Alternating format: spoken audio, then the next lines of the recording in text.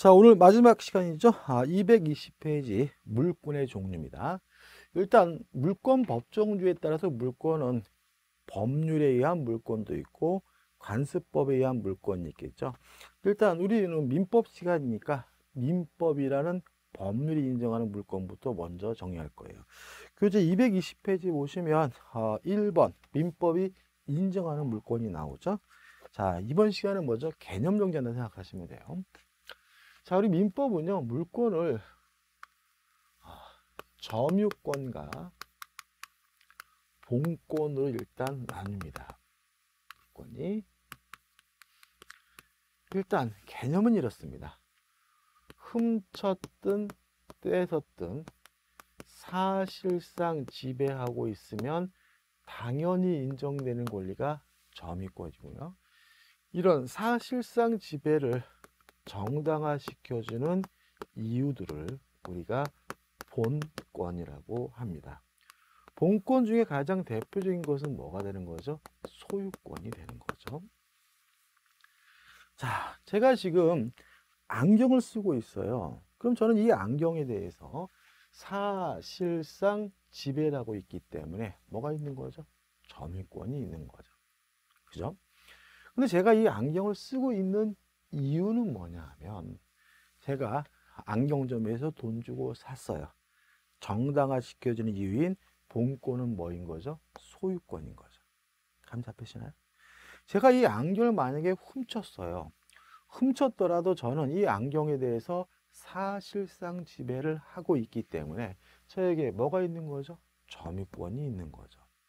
다만 훔쳤기 때문에 정당화 시켜주는 이유인 뭐가 없는 거죠? 소유권, 본권이 없는 거죠. 감 잡히시죠? 그죠? 제가요, 음, 아파트에 살고 있어요. 그러면 그 아파트에 대해서 사실상 지배하고 있으니까 그 아파트에 제가 뭐가 있는 거죠? 점유권이 있는 거거든요. 근데 제가 그 아파트에 살고 있는 이유는 뭐냐면 전세권자로 살고 있어요. 그러면 정당화 시켜준 이유인 본권은 뭐인 거죠? 전세권이 되는 거죠. 자, 아무튼 훔쳤든 뺏었든 돈 주고 샀든 사실상 지배하고 있으면 당연히 인정되는 권리가 점유권이고요. 이러한 사실상 지배를 정당화시켜준 이유들을 우리가 본권이라고 한다. 이해되시죠? 자, 소유권이라는 권리는 뭐냐 하면 물건을 사용하고 수익하고 처분할 수 있는 권리입니다.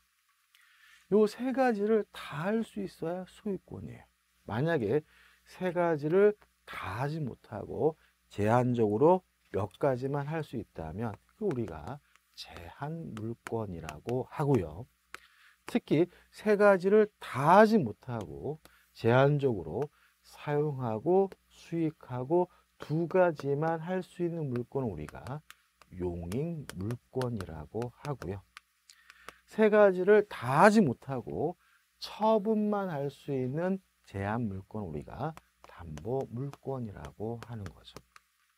조금만 설명드리면 어, 담보 물권이 처분만 할 수 있다. 이게 좀 이해가 안 될 수가 있는데 담보 물권 중에서 가장 대표적인 게 뭐예요? 저당권이잖아요. 자, 제가 아파트에 저당권을 설정해서 저희가 저당권이라는 물권을 가지고 있어요. 저당권자인 제가 그 아파트를 사용하거나 수익할 수는 없는 거죠. 뭐 할 수 있습니까? 그 채무자가 돈을 안 갚는다면 저는 그 저당권을 근거로 해서 그 아파트를 경매할 수 있네요. 처분만 할 수 있네. 따라서 실제로 담보 물건은 원칙적으로 뭐만 할 수 있는 겁니까? 처분만 할 수 있는 제한 물건인 거죠. 자, 이거였죠? 자, 용익 물건은 다시 세 가지로 나뉩니다. 지상권, 지역권, 전세권이에요. 일단 지상권이라는 것은 타인의 토지를 사용할 수 있는 권리입니다. 그러니까 지상권에 대한 개념을 어려워하시는 분이 계신데 그냥 남의 땅을 쓸 수 있는 권리다. 남의 땅을 쓸 수 있는 물권이다. 이렇게 하시면 돼요. 다만 목적에는 제한이 있어요. 건물이나 수목, 기타 공작물을 소유하기 위해서 남의 땅을 쓸 수 있는 권리가 뭐예요? 지상권인 거예요. 근데 제가 이거를 앞에 쓰지 않고 뒤에 쓰는 이유가 있어요. 자, 지상권이라는 것은 건물 등을 소유하기 위해서 남의 땅을 쓸 수 있는 권리잖아요. 그러다 보니까 자꾸 건물에 대한 권리로 오해하시는 분이 있어요. 건물은 지상권은 뭐라고요? 토지 사용권이에요. 중요한 거죠. 자, 보세요. 갑이 소유하고 있는 토지에 을이 건물에 대해서 소유권이 있고요. 요 갑의 토지에 위에 건물을 소유하기 위한 토지 사용권이 있다면 이거 우리가 뭐라 그래요? 지상권인 거죠. 다시 말하면 을은 건물에 대해서는 소유권이 있고요. 토지에 대해서 뭐가 있는 거예요? 지상권이 있는 거죠. 지상권은 건물에 대한 권리가 아니라 토지 사용권이에요. 이거 시험에 참 잘 나옵니다. 자, 지상권이 뭐라고요? 건물 등을 소유하기 위하여 남의 땅을 사용할 수 있는 권리. 줄여서 타인의 토지를 사용할 수 있는 걸 우리가 지상권이라고 해요. 자, 지역권입니다. 아, 지역권도 타인의 토지를 사용할 수 있는 권리. 토지를 사용할 수 있는 권리라는 점에서는 지상권과 같은데 어떤 지상 권리냐면 내 토지의 편익을 위하여 남의 땅을 쓸 수 있는 권리가 뭐죠? 지역권인 거죠. 그럼 구별할 수 있겠죠. 그러니까 건물을 소유하기 위해서 남의 땅을 쓸 수 있는 권리는 뭐예요? 지상권. 토지의 편익을 위하여 남의 땅을 쓸 수 있는 권리는 뭐예요? 지역권. 쉽게 말하면 건물과 토지 간의 문제는 지상권. 토지와 토지 간의 문제는 뭐예요? 지역권. 이렇게 되는 거예요. 감잡히시죠? 그죠? 내 건, 건물을 소유하기 위해 남의 땅을 쓸 수 있는 권리는 뭐예요? 지상권. 내 토지의 편익을 위하여 남의 땅을 쓸 수 있는 권리 우리가 지역권이라고 한다. 건물과 토지 간의 관계는 지상권. 토지와 토지 간의 관계는 뭐예요? 지역권. 이렇게 정리해야 되겠죠. 전세권이라는 것은 어, 전세금을 지급하고요. 목적 부동산을 용도에 쫓아 사용하고 수익할 수 있는 권리가 지, 아, 전세권이 됩니다. 일단 전세권이 성립되기 위해서 반드시 뭐가 지급돼야 돼요? 전세금이라는 목돈이 지급돼야 되고요. 전세권의 객체는 부동산입니다. 토지일 수도 있고 건물일 수도 있고 다시 말하면 전세권이란 토지나 건물, 부동산을 용도에 쫓아 사용하고 수익할 수 있는 권리인데 특징은 뭘 지급해야 되는 거죠? 전세금을 지급해야 되는 거죠. 전세금을 지급함으로써 목적 부동산을 용도에 쫓아 사용하고 수익할 수 있는 권리가 전세권이고 지금 제가 말씀드린 전세권은 뭐예요? 물건인 거예요. 자, 담보 물건입니다. 담보 물건 세 가지가 있죠. 유치권, 개념을 잡습니다. 자, 유치권은 어, 채권을 담보하기 위해서 물건을 반환을 거부할 수 있는 권리가 뭐예요? 유치권이다. 다시 말하면 채권을 이유로 목적 물건을 반환 못하겠다 거부할 수 있는 권리가 뭐죠? 유치권이고요. 유치권도 담보 물건인데 유치권의 객체는 뭐예요?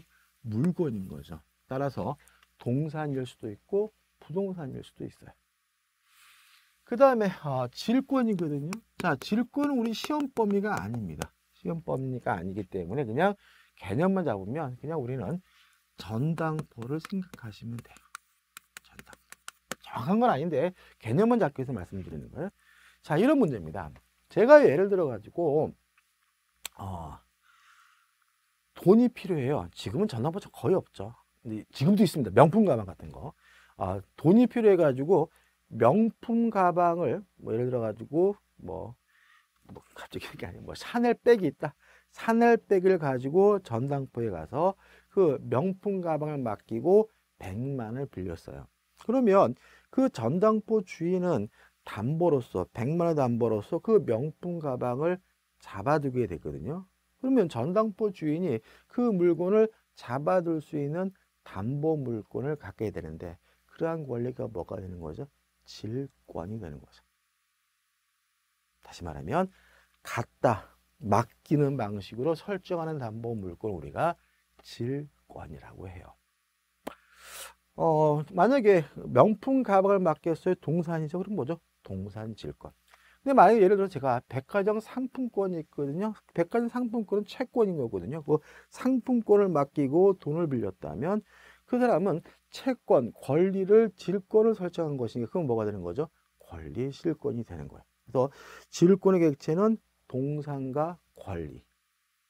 부동산 질권이라는 것은 인정되지 않기 때문에 우리 공인중개사 시험에서는 질권이 시험 범위는 아닙니다. 그래서 개념만 갖다 맡기는 방식으로 설정하는 담보물권 우리가 질권이라고 한다. 음, 저당권의 개념은 더 간단하죠. 어, 저당권에 관한 설정 등기를 통해서 경매할 수도 있고 우선 변제 받을 수 있는 담보 물건이 저당권인 거죠. 그러니까 저당권은 점유를 이전하지는 않습니다. 점유를 이전하지 않고 설정 등기를 통해서 우선 변제 받을 수 있는 담보 물건이 우에 저당권인 거죠. 자, 여기까지 이제 우리가 앞으로 배워야 될 물건의 개념을 다 했어요. 정리해 볼까요? 자, 훔쳤든 뺏었든 돈 주고 샀든 사실상 지배하고 있으면 당연히 인정되는 권리를 점유권이라고 하고요. 이러한 사실상 지배를 정당화시켜진 이유로 우리가 본권이라고 하는데 본권은 소유권과 제한물권이 있는 거죠. 자, 소유권은 어떤 권리냐면 물건을 사용하고 수익하고 처분할 수 있는 권리다.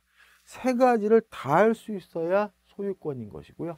세 가지를 다 하지 못하고 몇 가지 제한적으로 몇 가지만 할 수 있으면 우리가 제한 물권이라고 하는데 사용하고 수익 두 가지만 할 수 있는 제한 물권을 용의 물권, 처분만 할 수 있는 제한 물권을 담보 물권이라고 하고요. 용의 물권은 지상권, 지역권, 전세권 세 가지가 있는데 지상권이라는 권리는 뭐냐? 내 토지의 아, 건물 등을 소유하기 위해서 건물 등을 소유하기 위해서 남의 땅을 쓸 수 있는 권리가 지상권. 지역권은 뭐냐? 내 토지의 편익을 위하여 남의 땅을 쓸 수 있는 권리 우리가 지역권. 전세권은 뭐냐? 전세금을 지급하고 목적 부동산을 용도에 쫓아 사용하고 수익할 수 있는 권리가 전세권이다. 그다음 담보 물건에서 유치권, 채권, 담보를 이유로 반환을 거부할 수 있는 담보 물건이 뭐예요? 유치권이고 유치권의 객체는 물건이죠. 동산일 수도 있고 부동산일 수도 있고요.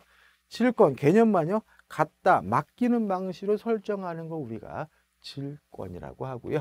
저당권 설정 등기를 통해 점유 이전하지 않고 설정 등기를 통해서 우선 변제받을 수 있는 담보 물건이 뭐죠? 저당권인 거죠. 끝입니다. 여기까지 민법상 이 인정되는 물건인 거죠. 다 이건 뭐야? 법률의 규정이 있는 물건들입니다. 자, 221페이지 오시면 어, 민법 이해 범죄 인정하는 물건 해가지고 상법이 인정하는 물건이 있는데 우리는 민법 시간이니까 이런 건 의미가 없겠죠. 2번 특 별법이 인정하는 물건들이 있는데 이런 것들 우리가 해당 부분에서 볼 거예요. 이거 나열된다고 외우실 필요는 없어요. 우리는 민법 시간이니까요. 그 다음 한번 관습법상의 물건입니다. 자, 우리 물건 법정주에 따라서 법률로도 물권을 정할 수도 있고 관습법으로도 물권을 정할 수가 있는 거거든요.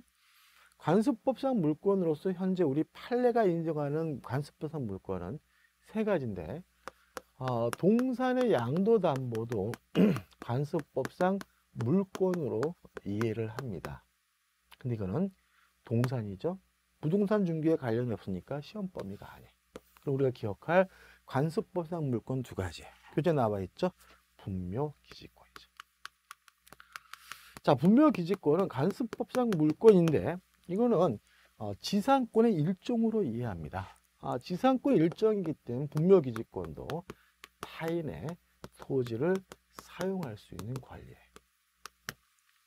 어떤 토지 사용권이냐면 분묘를 소유하기 위해서 남의 땅을 쓸 수 있는 권리가 분묘 기지권입니다. 그래서 건물 등을 소유하기 위해서 남의 땅을 쓸 수 있는 권리는 지상권. 분묘, 묘를 소유하기 위하여 남의 땅을 쓸 수 있는 권리는 우리가 분묘 기지권이에요. 자, 근데 이걸 왜 간수법상 물권이라고 하냐면 법에서는 요거만 규정돼 있거든요. 그러니까 건물, 수목, 기타 공작물을 소유하기 위해서 남의 땅을 쓸 수 있는 권리 지상권만 규정하고 있고 분묘를 소유하기 위한 토지 사용권은 법에 없으니까 법률이 없으면 관습법상 물권이 되니까 우리 발에는 이거를 관습법상 물권으로 이해하는 거죠. 자, 분묘기지권이 뭐라고요? 분묘를 소유하기 위해서 남의 땅을 쓸 수 있는 권리입니다. 그다음 관습법상 법정지상권인데 이게 좀 개념이 좀 어려울 수가 있어요.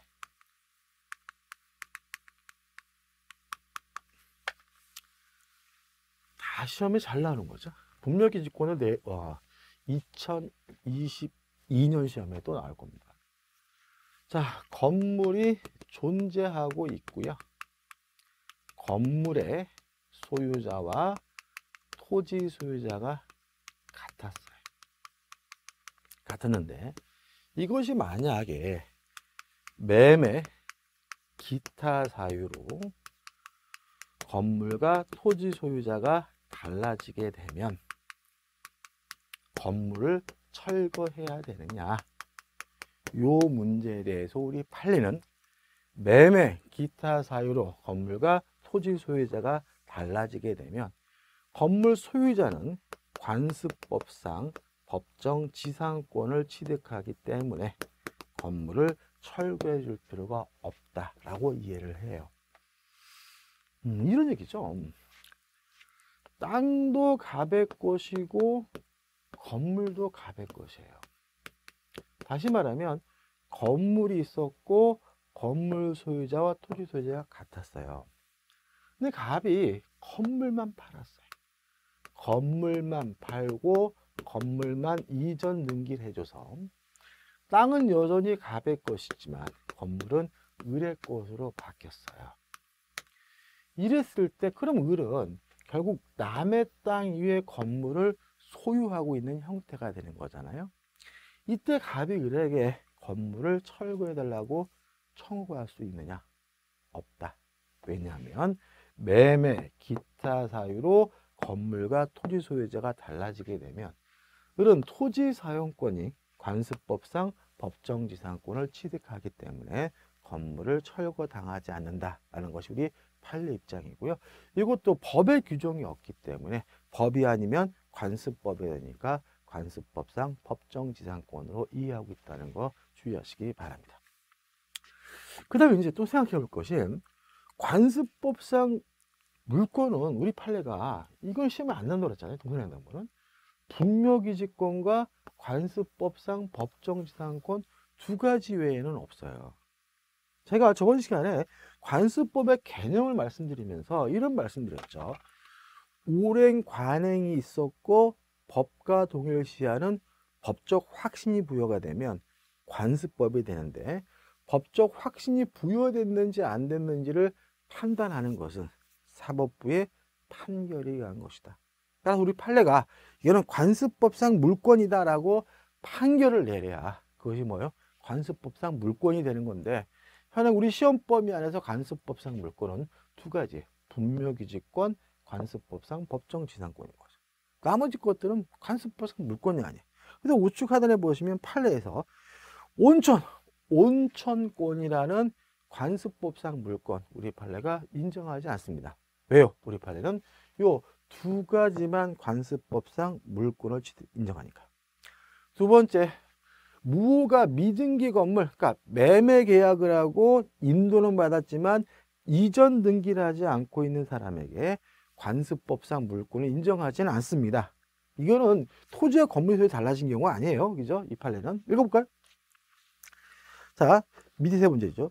미등기 무허가 건물의 양순이라 할지라도 그 소유권 이전 등기를 격려받지 않은, 않는 한 건물에 대한 소유권을 취득할 수 없어요. 왜요? 등기를 해야 소유권을 가지니까요. 그러한 건물의 취득자에게 소유권에 준하는 간습상의 물권이 있다고 볼 수는 없다. 왜냐하면 우리 판례는 관습법상 물권으로서 분묘기지권과 간섭법상 법정지상권 두 가지만 인정하고 있기 때문에 그런 거죠. 자 넘겨보신 220페이지에 아, 대표 예제가 나옵니다. 물건에 관한 설명 중 옳지 않은 거죠. 1번 물건은 누구에 대해서도 주장할 수 있는 점에서 절대성을 가지는 권리다. 맞죠? 2번 물건은 현존하지 않는 물건, 즉 장래의 물건에 대해서도 성립할 수 있다. X죠. 제가 이런 말씀 드렸잖아요. 아파트를 분양받았어요. 아파트가 없더라도 매매 계약이 유효하지만 그 아파트에 대해서 소유권, 물권을 취득하려면 반드시 아파트가 있어야 된다. 따라서 현존하지 않는 물건, 장래 물건에 대해서는 물권이 성립할 수가 없기 때문에 2번 X고 2번이 답인 거죠. 3번 물권법인 법원인 물권 법원이죠. 이 법원이라는 말은 원래 줄임말입니다. 법의 연원이라는 말인데 우리는 앞으로 그냥 법의 존재 형식 이렇게 이해하시면 돼요. 그러면 물권법의 법원이라는 말은 물권법의 존재 형식이에요. 그러면 물권 법정주의에 따라서 물권법은 법률과 관습법으로만 존재할 수 있는 거죠. 그럼 문장이 이해되실 거예요. 그러면 물권법의 법원인 법률은 물권법의 존재 형식인 법률은 형식적 의미에서의 법률을 의미하고 국회에 제정한 국회에 제정한 형식적 의미의 법률을 의미하고 따라서 명령은 물권법의 법원이 되지 않는다. 다시 말하면 아, 시행령 시행규칙이 없다 이거죠. 4번 물권법의 법원으로서 법률과 간수법의 관계에서는 신법이 우선한다는 견해가 있다. 어떠어떠한 견해가 있다라는 질문은 무조건 맞는 거예요, 여러분들. 앞으로 이러이러한 견해가 있다는 무조건 맞아요. 다만 우리 판례는 신법이 우선한다고 보다는 법률이 우선한다. 다시 말하면 관습법은 법률에 대해서 보충하는 거다. 법률이 없는 경우에만 관습법이 존재한다는 것이 우리 판례 입장이죠. 5번 물권이 일반적으로 채권에 우선한다. 맞는 질문이 됩니다. 자, 물권에 효력해가지고 어, 총소리 나오고 우선적 효력이 나와요. 자, 이 물권에 효력해가지고 우리가 물권적 충국권도 나눠 이거는 우리가 기초 강의 때는 좀 다루기 어렵고요. 기초 강의 때는 이 우선적 효력이라는 말만 개념만 확실하게 잡으면 돼요. 자, 한번 생각을 해보자. 이게 좀 오해가 있는데, 그러니까 물권은 우선적 효력이 있다. 이 말을 이렇게 하시면 안 돼요. 항상 우선하는구나. 예를 들어 가지고 저당권은 우선 변제권이 있다. 이 말을 항상 우선해서 변제받을 수 있구나. 이렇게 하시면 안 돼. 뭐 주택 임차권자가 인도받고 주민등록하고 확정일자를 하게 되면 우선 변제권이 있다라는 얘기를 아 주택 임차권자는 확정일자를 받으면 언제나 우선하는구나 이렇게 이해하시면 안 된다는 거예요. 자, 한번 생각해 보세요, 여러분들. 자, 물건은요 우선적 효력이 있어요. 이에 반해서 채권은 우선적 효력이 없습니다.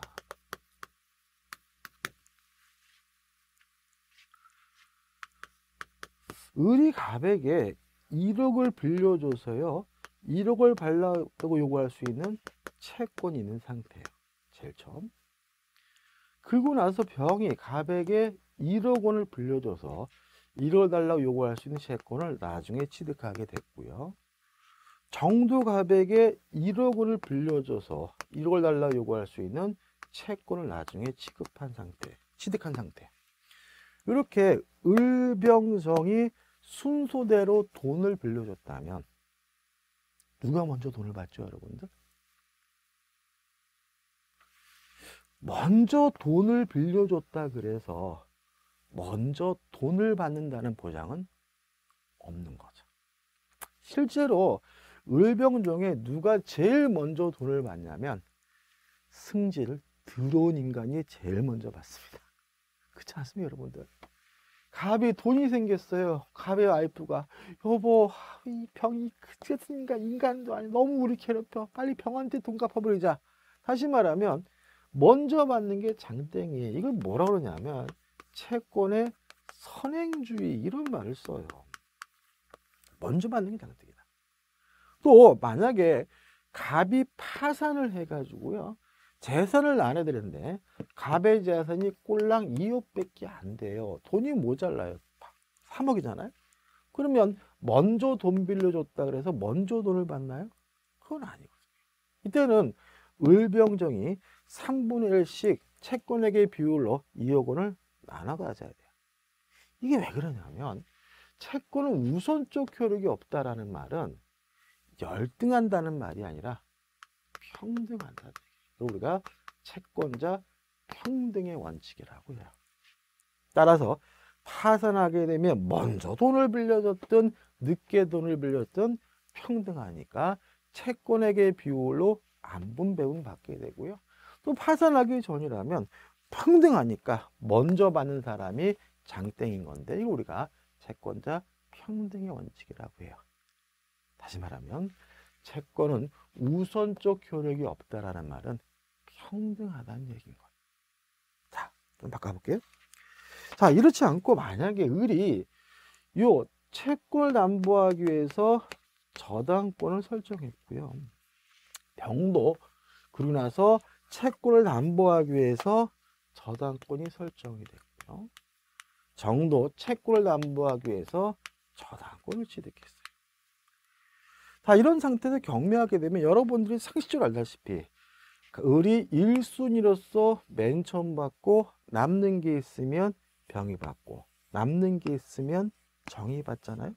그러면 을의 입장에서는 내가 저당권이 있으니까 물권이 있으니까 우선해서 돈을 받는다는 말이 맞아요. 그죠? 근데 정의 입장에서는 저당권이 있으니까 맨 우선해서 돈을 받는 게 아니라 맨 꼬레비로 받잖아. 그래서 물권의 우선적 효력이 있다는 말은 1순위, 2순위, 3순위 순서가 있다라는 거예요. 그래서 우선적 효력이라는 말은 평등하지 않다는 얘기예요. 우열이 존재한다는 얘기에 불과한 거예요. 그래서 만약에 우선 변제권이 있다 그러면 앞으로 여러분들이 우선에서 돈을 받는다는 말이 아니라 우열에 따라서 순서에 따라서 돈을 받을 권리가 있다. 우선 변제적 효력이 없다 그러면 돈을 못 받는다는 말이 아니라 열등하다는 얘기가 아니라 우열 없이 평등하게 채권액의 비율로 안분 배분받게 되는 거다. 그죠? 다시 말하면 주택 임차권자가 인도받고 주민등록하고 확정일자라면 우선 변제권이 있다라는 말은 확정일자일을 기준으로 해서 우유를 따지게 된다, 배당 순위를 따지게 된다는 말에 불과하다는 거예요. 그래서 교재 보시면 223페이지에 물권, 아, 222페이지 보시면 채권의 그러니까 우선적 효력이라는 말을 뭐로 바꾸는 게 더 쉬워요? 물권의 우열. 일단 채권화는 우선한다. 우측 2번 물권의 우선적 효력이 예외, 예외해가지고 뭐예요? 아, 우열의 예외가 되는 거죠. 그 다음 우측에 중간에 2번 물권 상호간의 우선적 효력하면 뭐예요? 물권 상호간의 우열 이런 거예요. 그래서 앞으로 우리는 우선적이란 말이 나오면 우열로 바꿔서 이해하시면 돼요. 기준에는 얘기는 이렇습니다. 간단 말씀드리면 자 물건의 우선적으로 우열은 원칙적으로 성립 순서에 따릅니다. 먼저 성립한 물건이 우선하고요. 늦게 성립한 물건은 열등합니다. 다만 소유권과 제한 물건이 충돌하게 되는 경우에는 성립 순서와 상관없이 제한 물권이 우선하게 되고요. 물권과 채권이 충돌하게 되는 경우에는 성립 순서와 상관없이 물권이 우선하게 됩니다. 이렇게 정리하시면 돼요. 물론 나중에 우리가 자세히 공부를 해야 되겠죠. 자, 오늘 여기까지, 여기까지 해가지고 우리가 물권에 관한 기초 강의 끝낼 거고요. 어, 다음 주에는 이제 우리 기초 강의 마지막이죠. 음, 계약법에 대한 기초 강의를 할 겁니다. 여러분 오늘 수고 많으셨고 여러분들 모두 고맙습니다.